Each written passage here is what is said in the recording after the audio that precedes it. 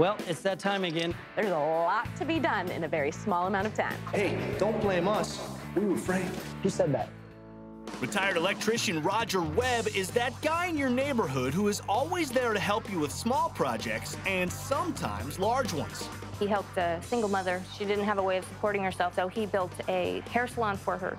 Now a little older, Roger needed his family's help. He loves to go fast.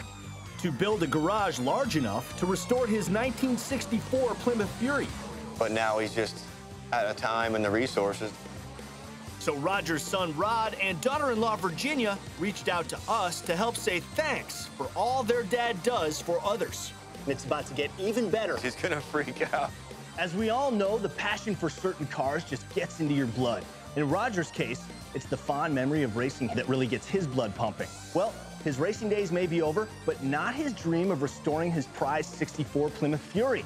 Roger, have no fear because Foose and the A team are here. And as I love to say, it's Mopar or no car.